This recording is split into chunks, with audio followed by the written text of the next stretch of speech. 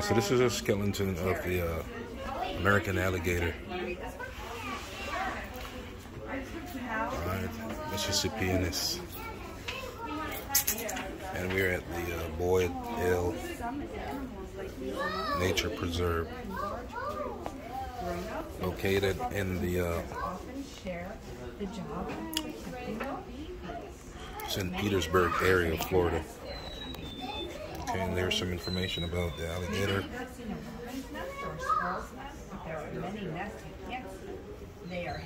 He's telling you about American alligator. And today we're going to take a look at some gators.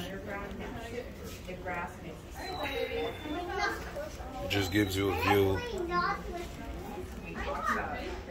of the skeleton of an American alligator. Very powerful jaws, as you can see. Massive teeth.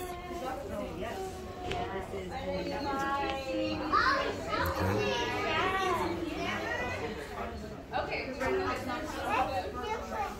Alright, and I guess this gator was found like this right here.